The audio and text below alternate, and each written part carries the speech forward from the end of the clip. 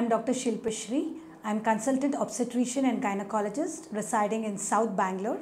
The most important things a woman should know when she's planning for a baby is to know about her ovulation, how to do a ovulation test, how to use a ovulation kit and how to interpret the results when, while using this ovulation kit. So first and foremost, we should know what is this ovulation. Normally, a woman menstruates every 28 to 30 days. Ovulation is a period where our ovaries release an egg. This usually happens in the mid cycle. If it is a 28 day cycle, it usually happens on the 14th day.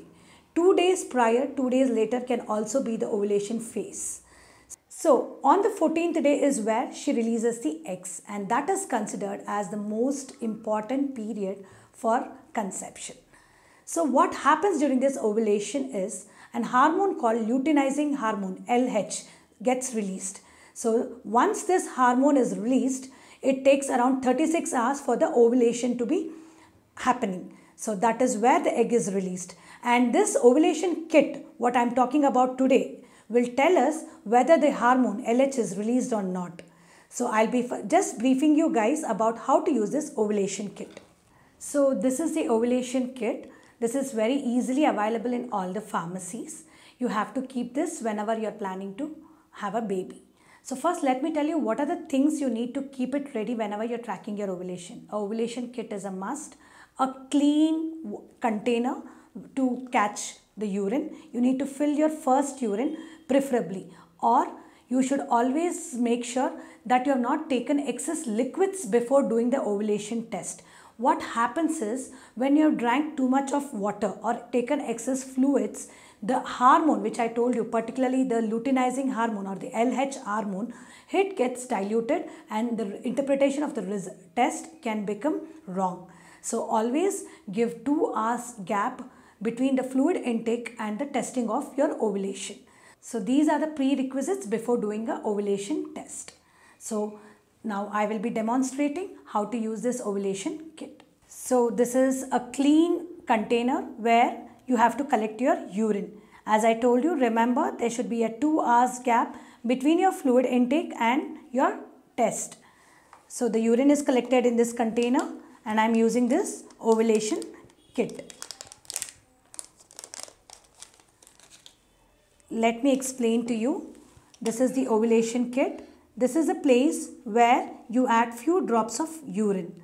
This has two markings, the C and the T. What does this indicate? C indicates once you put few drops of urine over here, if the C line get, becomes darker, it indicates that the kit has been working fine. If the T line also turns darker, it indicates you are ovulating or you are about to ovulate in the next 24 to 36 hours. So this is how you use the ovulation kit. And so you also have a small filler given along with your ovulation kit where you take few drops of your urine and drop it in this pellet area.